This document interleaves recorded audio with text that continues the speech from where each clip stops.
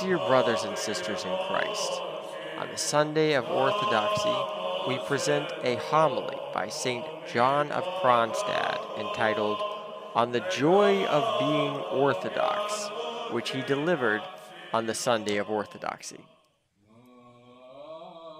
Behold, an Israelite indeed in whom is no guile. John chapter 1, verse 47. Our Lord Jesus Christ said this of a certain Nathanael, an Israelite who dwelt in the Galilean town of Cana, when the latter, on the advice of his friend Philip, went to meet Jesus Christ to be assured whether he was the Messiah promised to Israel. Philip said to Nathanael, We have found him, of whom Moses in the law and the prophets did write, Jesus of Nazareth, the son of Joseph. But Nathanael said to him, Can there any good thing come out of Nazareth? Philip then said to him, Come and see. When Jesus saw Nathanael coming toward him, he said, Behold, an Israelite indeed, in whom is no guile. Nathanael said to him, Whence knowest thou me? Jesus answered him, saying, Before that Philip called thee, when thou wast under the fig tree, I saw thee.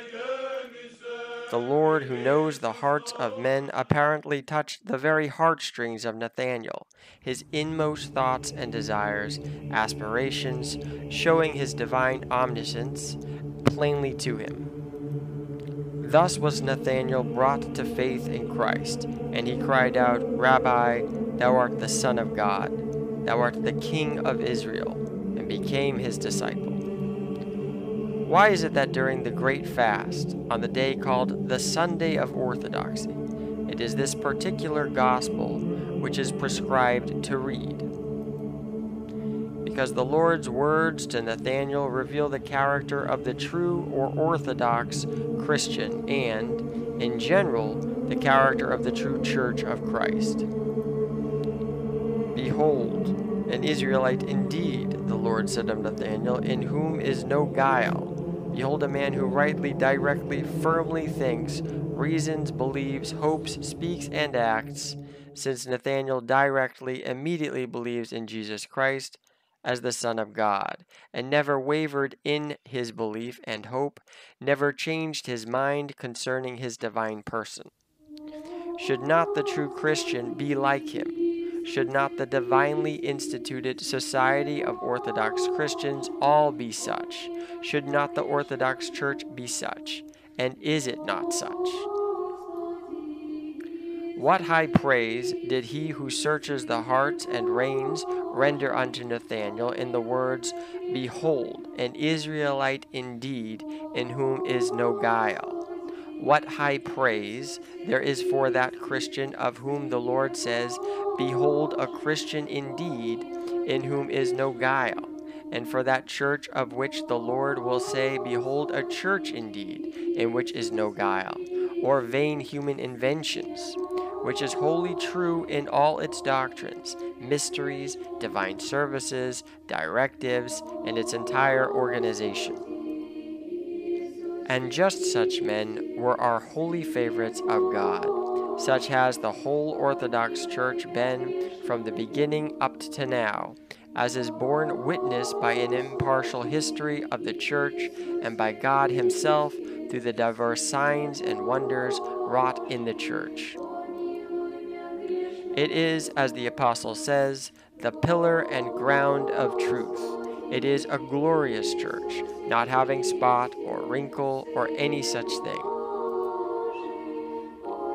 To preserve the Orthodox faith, rivers of the blood of the apostles, the prophets, and the martyrs were poured forth. And many tortures were borne by the venerable fathers and other champions of the faith. But what about us, the children of the Orthodox Church? Are we preserving this precious inheritance, the Orthodox faith? Are we following its teachings, commandments, canons, rules, counsel? Do we love to offer service to God? Are we renewed thereby? Are we hallowed each and every day? Are we setting ourselves aright? Are we attaining the perfection which the saints have reached? Are we becoming perfect in love for God and our neighbors? Do we cherish our faith? Do we regard the mercy of God as the greatest thing?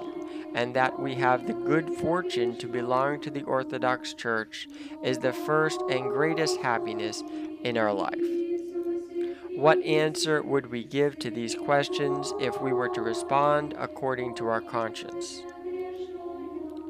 To our shame, we must admit that in many Orthodox Christians, the Orthodox faith is not only absent in their heart, but it is also not on their tongue. Among them, it has vanished entirely or has been turned into total indifference with regard to any religion whatever Catholic, Lutheran, Jewish, Mohammedan, or pagan. We hear that one may please God in every religion, that every religion is supposedly pleasing to God, and that falsehood and truth, righteousness and unrighteousness are matters about which God does not care. This is what ignorance of their own faith, ignorance of the spirit and history of their church, estrangement from its life and divine services has brought many to, an eclipse of any understanding of orthodoxy, heterodoxy, and other religions.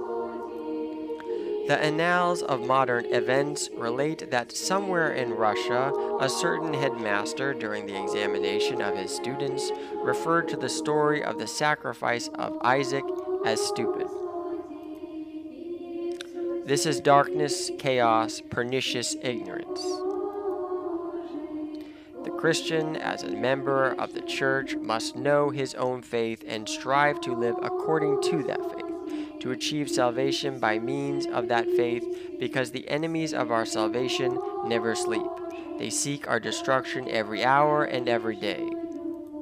The Orthodox Christian must not dismiss his faith as a concern merely of certain people, or as a disposable toy appropriate only for children, or something fit, as it were, for the uneducated common folk. It would not be out of place to remind those who think thus of the venerable antiquity of our faith which is contemporary with the beginning of the human race, and of its direct origin with God, and that men of high birth, vocation, position, and gender lived and attained salvation in this faith. Glorious kings and wise philosophers, lawgivers, and the greatest orators, nobles and simple folk, rich and poor, men and women, the beauty and glory of the human race. To the glory of the Orthodox faith, one ought also to say that no other religion than the Orthodox faith is capable of bringing man to moral perfection or holiness and the pleasing of God, as is shown by the history of the Church and the incorrupt, wonder working remains of the holy favorites of God and the miraculous feats of the saints of the Orthodox Church, whereby they became perfectly pleasing to God, becoming clairvoyant and working wonders even during their lifetime. Thus must it be for the sane mind, only a perfect faith, with all its divine powers, with the full spiritual armor of God, is able to bring one to perfection against the passion fraught flesh, the world, and the devil. If, nowadays, many Orthodox Christians live worse than Muslims and pagans, so much so that the head of all Muslims in Russia publicly proclaimed in St. Petersburg praise for his fellow Muslims for the fact that among them there are no people so wicked as among the Christians, who attempted to end the life of the Tsar.